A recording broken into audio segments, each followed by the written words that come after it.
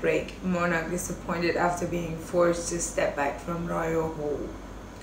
The Queen was heartbroken after a magnificent annual event she is known to very keen on was unfortunately cancelled, meaning she was forced to relinquish her important role in it, according to a royal commentator. Due to the ban on mass gathering, one of the Queen's favorite events of the year was forced to drastically alter. The Royal Ascot sporting event in which Her Majesty and other members of the royal family usually award trophies in the winner's enclosure and visit the parade during to admire the racehorse did go ahead this year despite the nationwide lockdown, but the changes meant the monarch could not attend. Speaking to Express.co.uk, royal commentator Richard Williams explained why the Queen would have accepted the decision. He said, the favorite event of the year is Royal Ascot, and we know how knowledgeable she is on the equine matters.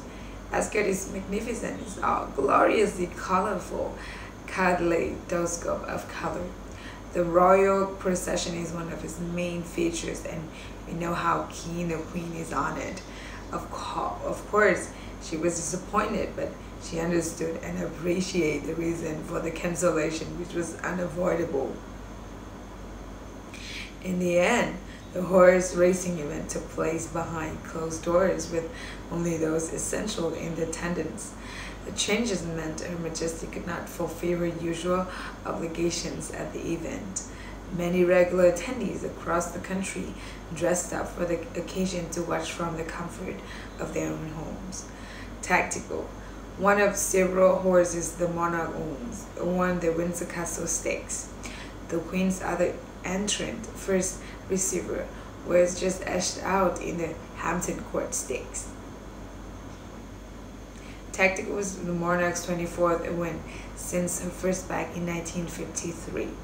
Racing Post reportedly Mottershead used this as an example of how difficult it is to win Royal Ascot it's a hugely competitive sporting environment, and although she's the queen, her spending power is limited as is funded from her own private purse.